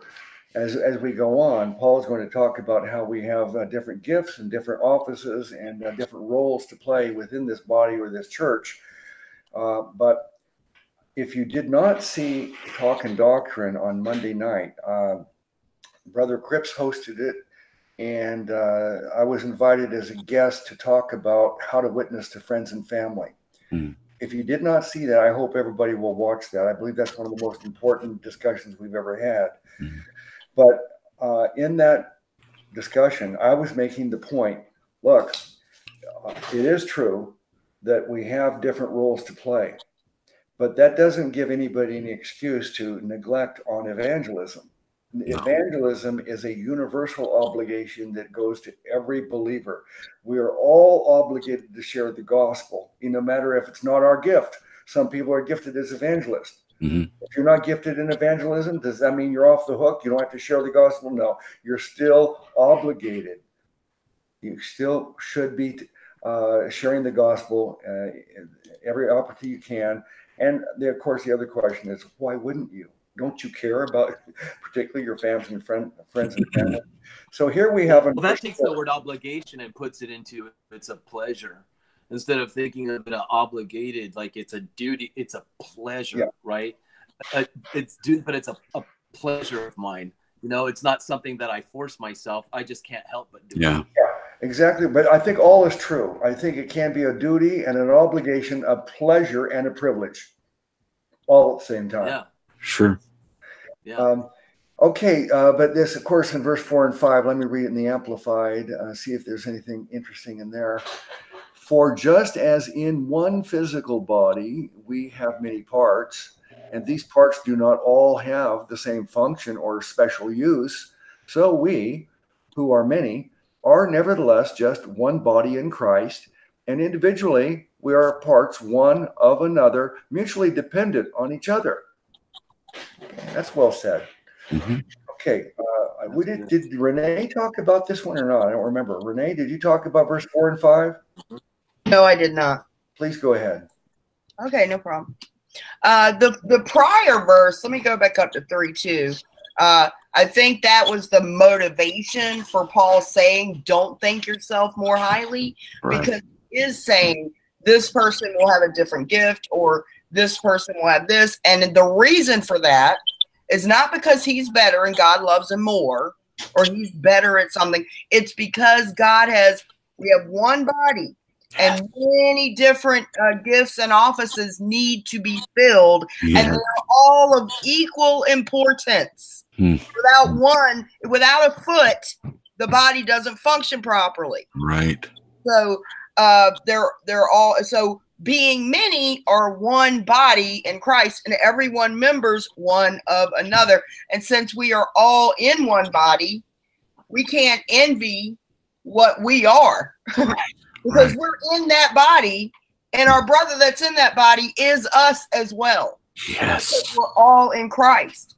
Mm-hmm. So I can't envy what mm. position he has because he's in the same body as me and he is me in a sense. Mm-hmm. So um, I uh, I I like to take these figurative things like the body of Christ and try to do physical drawings to, to get people to understand the unity. I've even drawn a giant figure of a body on a cross and put little happy faces in it and go, see, when he died, once you trusted in him, when he died, you were on the cross with him. That's what it means by you died with Christ. Mm-hmm. And that's why we should yeah. walk in newness of life. So to have one body, um, we are like Jason and Luke and Michael. I would, I, I can't be jealous, although I am jealous of, guys, uh, because we are all in the same body, mm-hmm. and and I feel that um, although we're members of the of the same body, that you are me and I am you in that sense, because the same God that dwells within me dwells within all of you, yeah. and we're all connected that way. So mm-hmm. I think it's important Amen. to remember uh, that we are all one, and that's not new age gooey kumbaya. That is that's scriptural. Yep. No, it, it, absolutely. Amen. Thanks, Ray. Okay. Uh, we all have the same spirit. We all have the same spirit. It's the spirit of the Lord joined to ours, which joins all of us together. Yep. Um, all right. I'm going to ask you, uh, particularly Re- Renee and uh, uh, Cripps. Uh, we're approaching the uh, magic hour, 11 p.m. in the East Coast. I, I, we like to stop them at 11 so it's not keeping you up too late.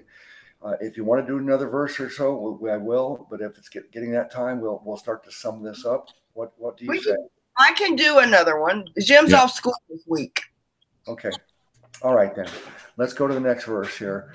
Um, verse six in the KJV says, Having then gifts differing according to the grace that is given to us, whether prophecy, let us prophesy according to the pr- proportion of faith, or ministry, let us wait on our ministering, or he that teacheth on teaching, or he that exhorteth on exhortation.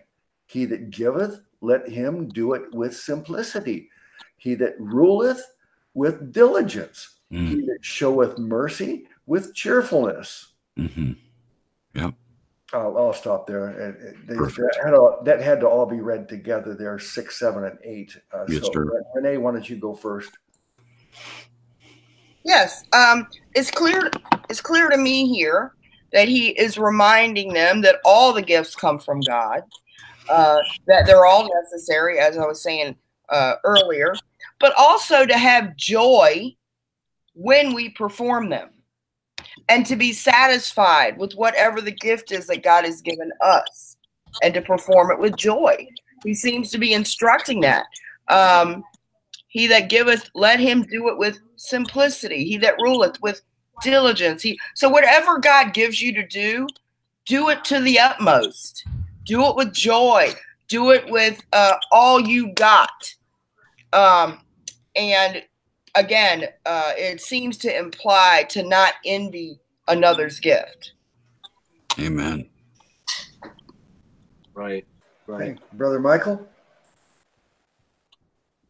Yeah, I just I love I love the Greek words and all of this because our gifts, it's the Greek word charisma.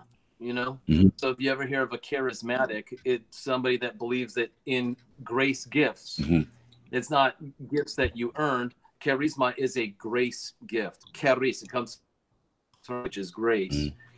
These gifts that differ, differ is diaphoros. Yeah. It means varying. There's a variety of different gifts, right? Um, but then again, they are grace gifts. None of us earned it. That's why none of us can boast. There you go. And then he says, it's a proportion according to the proportion of your faith. You know, do you actually believe Mhm.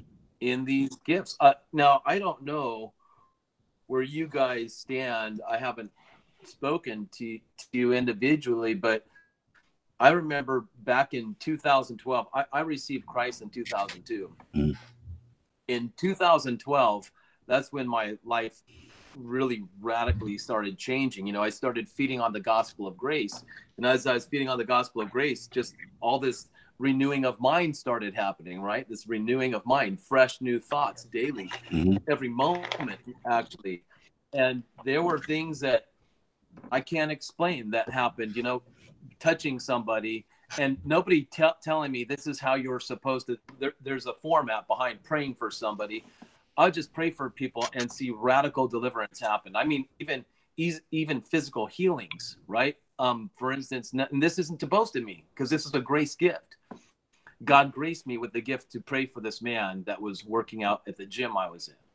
And he said that his wife, I hadn't seen him for a while, and he said that his wife was in the hospital and she had been there for like three weeks, I think he said.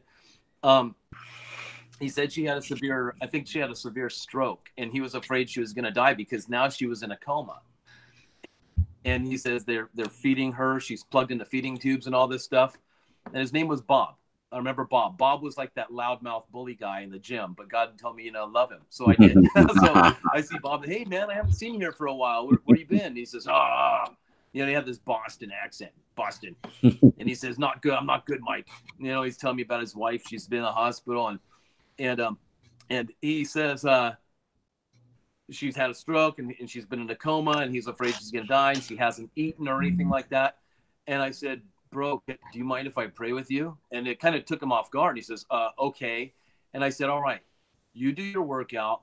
I'll do my workout. And when we're done, I'll, I'll come find you before I leave and we'll pray together. Okay. And he says, all right. Cause I honestly, I, I didn't know what to pray. I'm like, oh Lord, why did that come out of my mouth? Pray for this guy. Remember this 2012. I'm still like trying to figure out this stuff. So now what God had given me in 2012 was, um, nobody i never been anywhere where i heard anybody um praying in the spirit before never never jehovah's witnesses don't believe in that i never had been to christian churches that had done that nobody showed it to me or taught it to me but um god gave me that gift i prayed if this is real i want it and i received it and it came pouring out of my mouth like a flood it, you know and, and there's different forms of tongues too i think that in public but there's the kind that paul said that edify oneself when you pray in the spirit so I went off and I prayed in the spirit while I'm working out in the gym. I'm kind of singing in the spirit. I'm doing it very quietly. I'm not showboating or nothing like that, you know, because that was a gift too. And afterward, I find Bob after I'm done working out and uh, we go to have our prayer. I said, You ready to have a prayer? He says, Okay. And I said, Don't go nowhere. Don't bow your head, nothing. The gym was full of people. I just said, Do you mind if I put my hand on your shoulder? Okay. So I put my hand on his shoulder and I said, Bob, I said, I said, Lord, heal Bob's wife 100% right here, right now. I said, Bob, do you receive it? And he says, Yes. And I said, Then it's let it be done to you in Jesus' name. Amen. I walk off. And he's like, Well, thank you, Mike. Thank you. I'm like, Yeah. Now I walk out of gym because I'm really upset at myself. Because I'm Mhm. like, that was the stupidest. I can't believe I just said that. Heal his wife 100% right here, right now. Do you receive it? Yes. Then say amen and it's yours. Amen.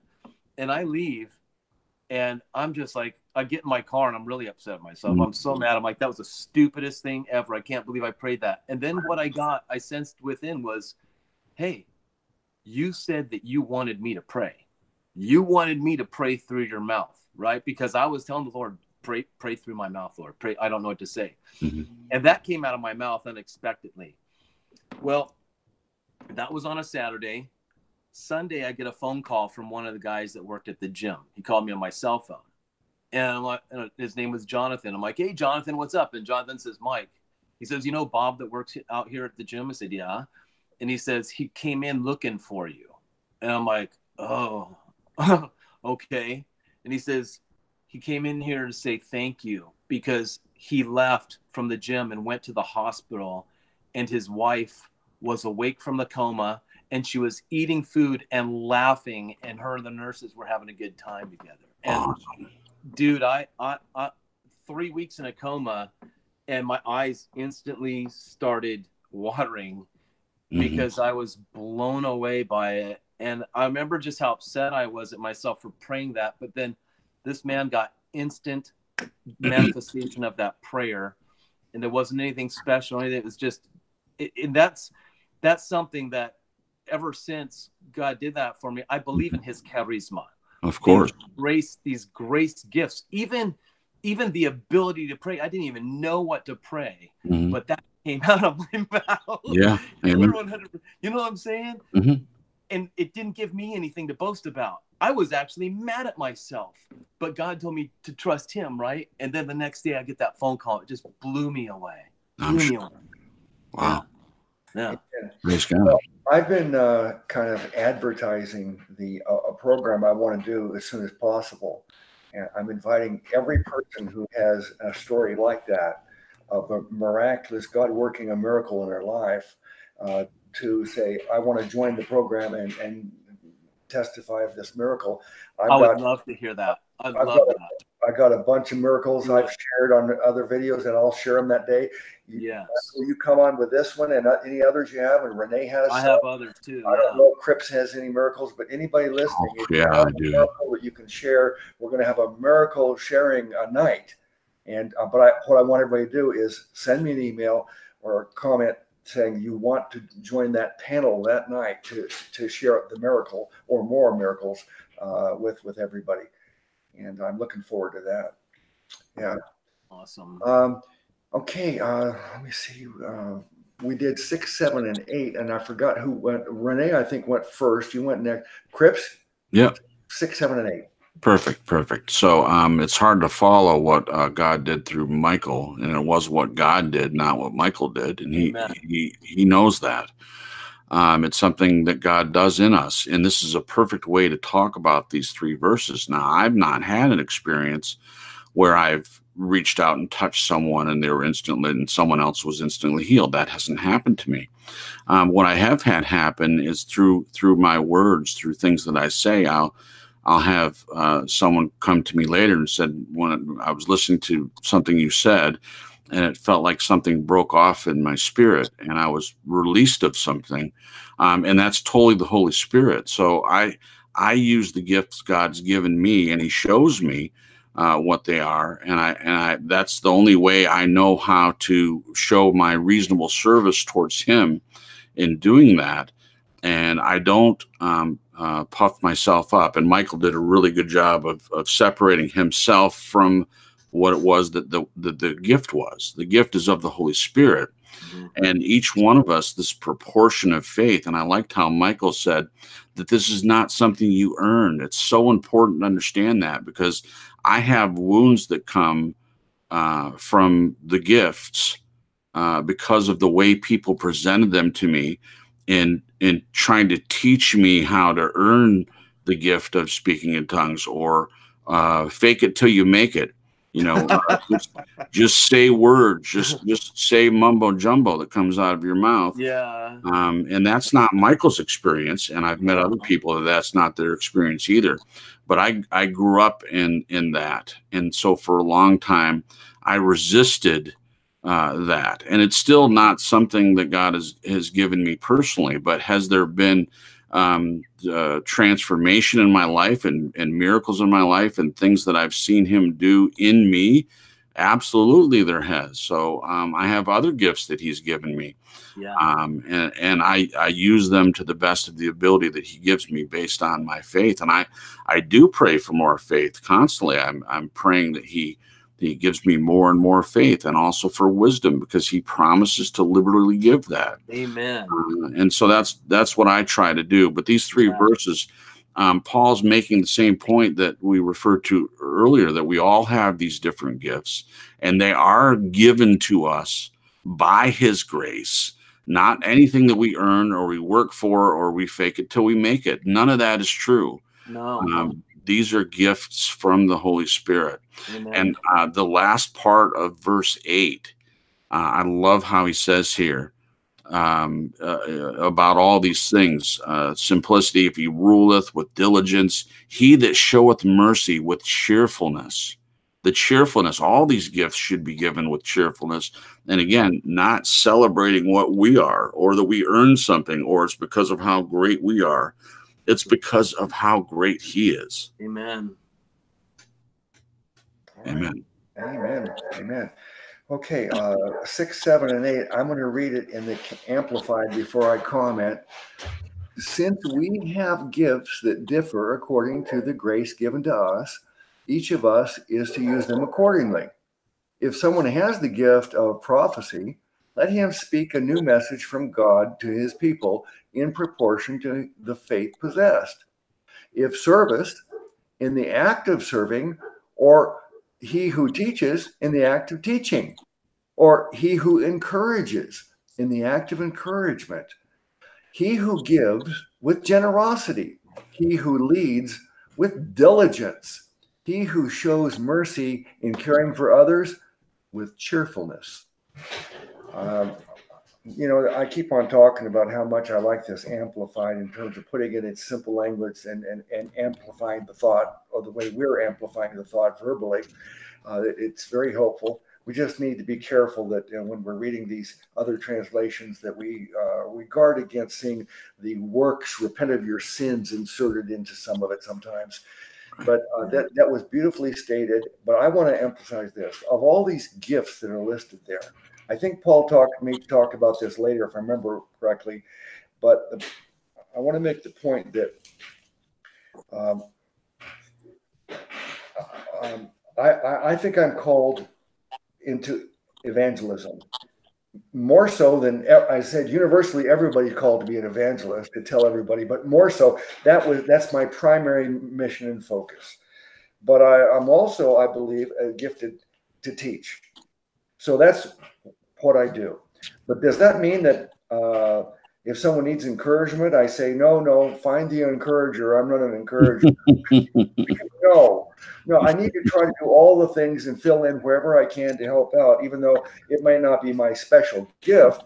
But I want to say that of all the gifts, I think the, the, the gift that is uh, most meaningful to me and, and also that is, is most, um, let's say, um, unrecognized is the gift of encouragement.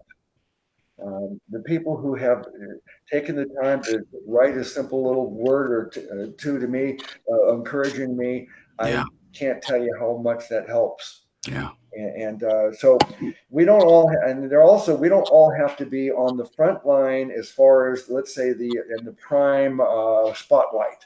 Mm-hmm. Some people are going to be more in the spotlight, more up front. Some people working more behind the scenes. Mm-hmm. those that work done behind the scenes, where you send someone a, a, quiet little message of encouragement, that is the one of the greatest gifts of the church. Love it. Um, yeah. Okay, I guess we've all talked about uh, six, seven, and eight. So rather than going on any further, let's uh, let's uh, take some time to summarize our thoughts on the talk today. Renee, the uh, ladies first. Uh, the untwisted sister. Untwisted, untwisted this talk tonight. We're not going to take it anymore, Renee. Thank. Uh, yeah, I, I, I really like that it's getting into the unity. We, I, we need more of this to be reminded of the unity in the body.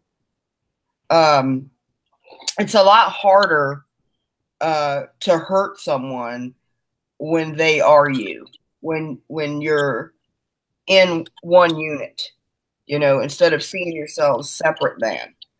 And um, I, I, I mean, there there's a lot. Our flesh wants to glory. Uh, we're and that and this is about that. It, it wants to glory in something and we're told not to because it's all given as a gift.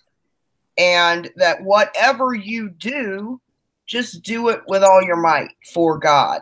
Uh, mm-hmm. uh, perform that which he has assigned to you with joy and don't envy what another person's uh, gift or position is. And that's important. But the beginning of this was really good to be reminded that we we you know, the whole as a license to sin.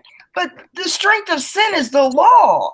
When has any of the law ever made somebody act right? Ever. I mean, the more laws you put down, the more they break. There's no, it's not Yeah.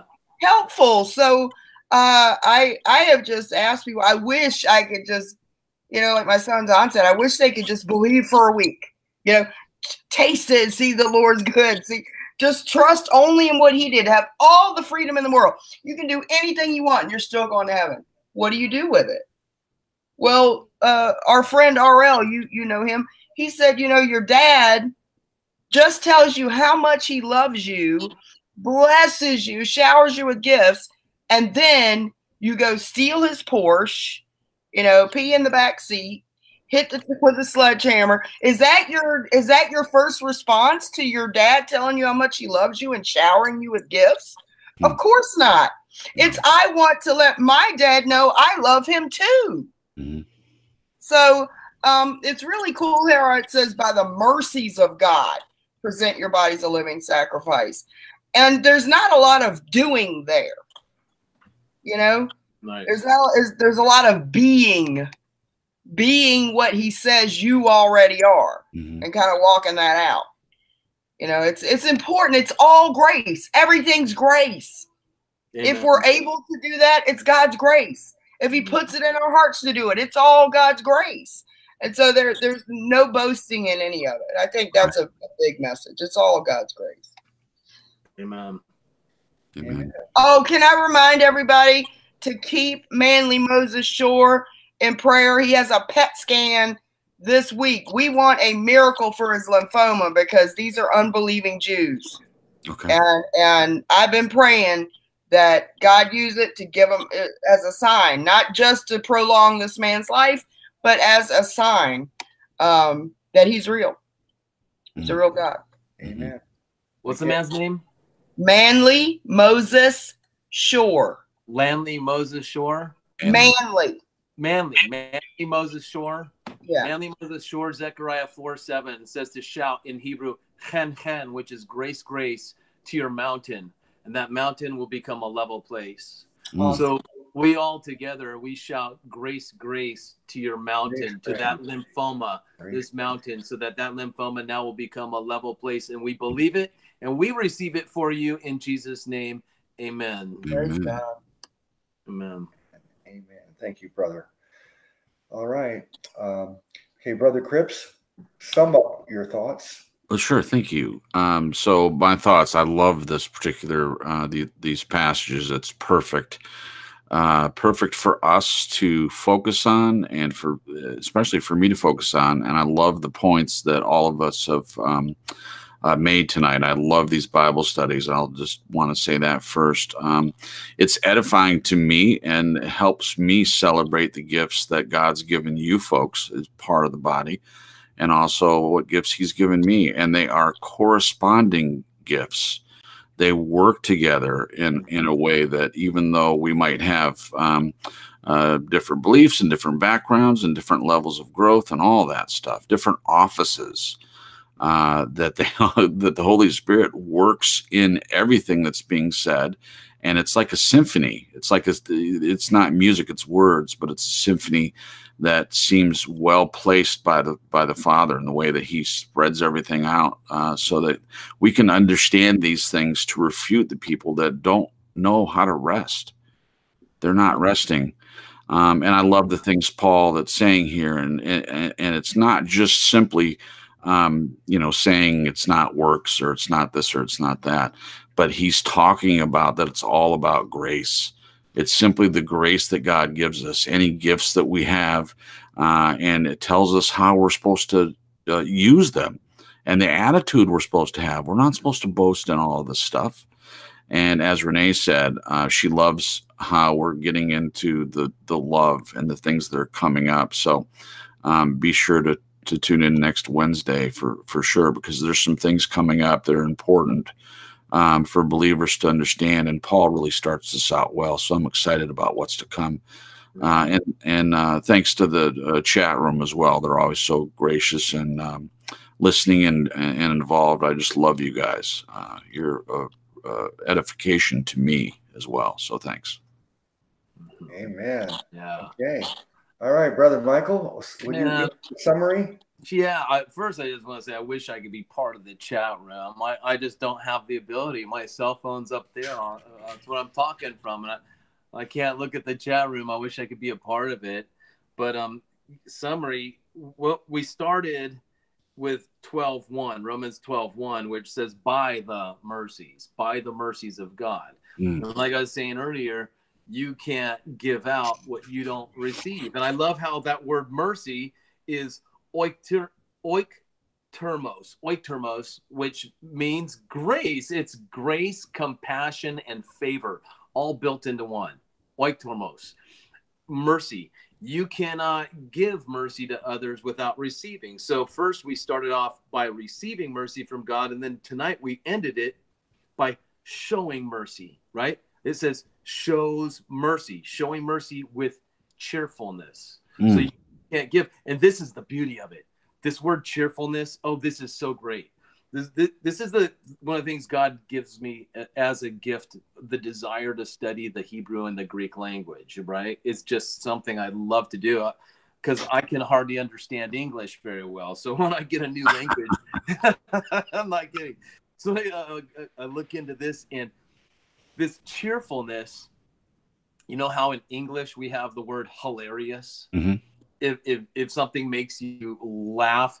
Okay, if you go to a comedy show, there's people, I've been to comedy shows before where you force a laugh out. It's like a courtesy laugh. it's not very funny. Yeah. But when something's hilarious, you can't help. It comes from within and comes bursting out, right? So hard that you're crying because it was so funny. It's called hilarious. So this Greek word for cheerfulness is where we get the English word hilarious. In Greek, it's hilarotos, hilarotos, right? And it means hilarious, and it also means to be overflowed with grace. Whew. Now, to me, that's just so powerful. And this is a part of showing mercy with this hilariousness, right? So overflowing with grace, because how do you show mercy to others and overflow with grace? By receiving his super perisio, superabounding, overflowing grace within us. Mm, mm, And if you don't receive it, you won't give it out to others, Right. right? I love, I love the power of these words. Me just- too. just, mm. Uh, Michael, someone in the chat asked this, and I wanted, uh, I'm sure you can answer this. What kind of Bible do you use? Is it as a I get it all the time. Greek? I get it all the time. Uh, so I've got, like, here's my Bible tonight with all of its notes. Wonderful. See this? Now, this is that, that's not my only Bible. I got my other one, and it's not to brag. Oh, look at all the notes. No, no, no, no, no. Of course not. I I don't have a Bible that has the Greek in it. Okay. You know, I have to actually find the Greek word. I go online Okay. instead of getting all these concordances and stuff. I just go online Mhm. and you can look up the Greek word, and then you can tap the, these Greek words. You can you can go so deep. It Mhm. takes a little homework, but you you find the root meaning of the words too, and then you can go to the different concordances. I don't just use one; I use quite a few because they're online. I try to find the sum, the the, the truest meaning, because some Hebrew and Greek has so many different meanings to Right. each word. So I try to sum it up. Okay, Holy Spirit, show me. The Holy Spirit, this is this is what's interesting, and, and this is something I don't understand, but this is a grace gift as well from the Lord. Okay. I look up a word, and before I find a meaning, the meaning's already in me.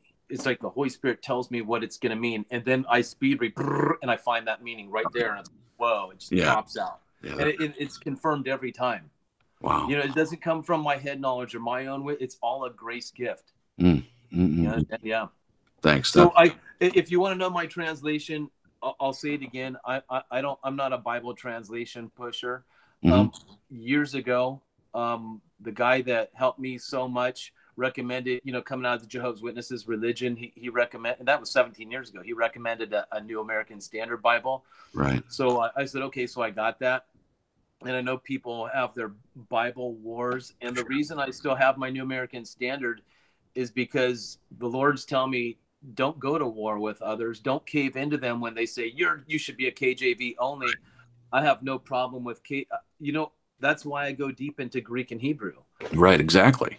I, I love the differences, just like that amplified, you know. And if if there is stuff that I find that my Bible doesn't correspond with the Greek, I'll find it in the NASB, and I even say it on my on my videos. But I've found a lot with the KJV too. You know, the the translations are fallible Mhm. because the translation comes from man. Right. The original word comes from the infallible one, the Mhm. Holy Spirit. Just like when people say you should be KJV only, I just say, well, what what scrolls did Jesus read from? Was he reading from KJV?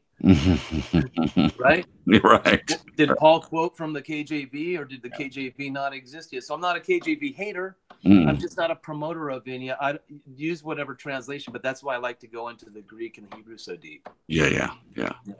I think they were trying to figure out how you used the Greek, and you explained it. That you Oh, look up the word and and uh, on online and and I, I'm I'm actually still I'm still learning. I, I'm yeah, taking me so deep into a a, a, a good rabbit hole.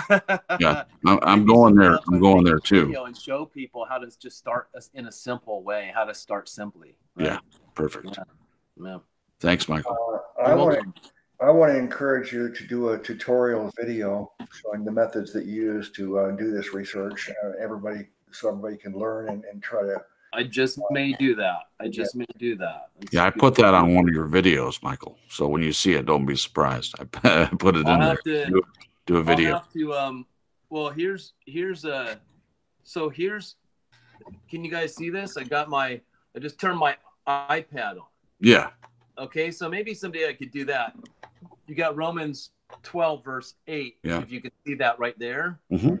right? And it's this is called the interlinear. So you have the Greek words up here Yeah. and then you've got the meaning of like here's that word cheerfulness. Can you see that right there? Yeah, I can see it right there. cheerfulness. I- Yep. I think I'm pointing at it. So what I do is it says cheerfulness here. Here's the Greek word. So you see that? So Yeah. I hit right here, bam, this little thing, and it. Oh, I hit the wrong one. Hold on, because I can hardly see. Let me go back. Hold on. Be patient. Now it's not going back. Okay, cheerfulness. So above this Greek word cheerfulness, you see these numbers right here. Yeah. You see those numbers? Yep. Okay. So I hit these numbers. Boom. And up pops this word. See Yeah. that? How it, Yep. that comes from our English word hilarious. Yeah. That's oh, the yeah. Word, right? Yep. And then, so you, you scroll through and you can find all the different meanings of this word. And, and there's so many different explanations through here, Right. you know, just it goes to the Strongs, it goes to other concordances, but then I travel a little deeper Mhm. than, than just on here too. Of you course. know, I, I'll go online and go into the deeper meanings, find Mhm. out, the, you know, all, the, even the root meaning you Yeah. know where did it come from yeah Mhm. I love it. I love it.